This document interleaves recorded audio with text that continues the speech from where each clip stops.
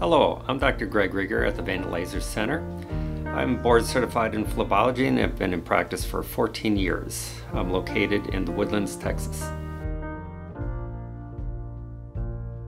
The question is, what is CO2 laser surgery? Carbon dioxide lasers are an ablative laser that is able to resurface the skin for increased skin smoothness, reduction in skin wrinkles, and uh, reduction in pigmentation. It is often done for treating sun damaged or aged skin to get a smoother, softer appearance.